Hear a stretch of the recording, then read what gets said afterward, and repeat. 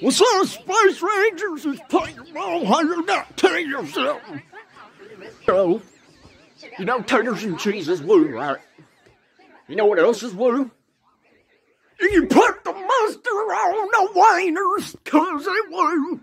Yeah, mustard on the wieners. Wieners south. Mustard on the wieners and I touch myself. Wieners and mustard. Gotta put that mustard on my wieners. Because wieners with mustard on them is blue. You know what else is blue? If you go to KFC, make sure you put the gravy on them taters. Yeah, taters and gravy is blue too. If you got taters, you better put that gravy on them or you ain't crap. So take damn taters and put some gravy on them. Right now, ain't hurt no more. You better not throw them taters on me as I'm walking out the door. And if you don't want gravy on your taters, and you want taters, put the cheese on them taters. If you ain't got cheese on your taters, you ain't crap. Taters in the south, sweet cheese and tater pie, and I touch myself.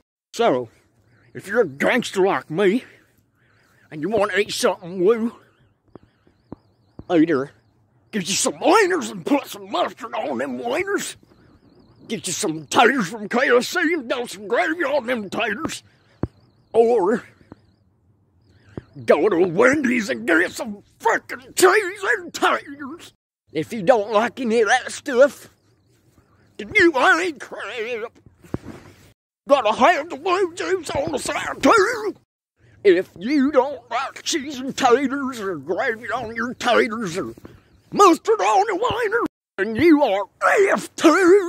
And no one likes someone that's AF2. It's like my mom's freaking green bean casserole. Tastes like dookie. That's why I eat my taters and cheese. Or I'll get some taters and gravy from KFC. Or I go in the kitchen and put some mustard on them wieners. So, if you want to be cool like plenty of your mom, put some cheese on them taters. Get some taters and gravy. Dump it, dump gravy on them taters. Or put some mustard on them wieners. And don't forget the woo juice on the side, or you ain't crap. I AF2. Okay.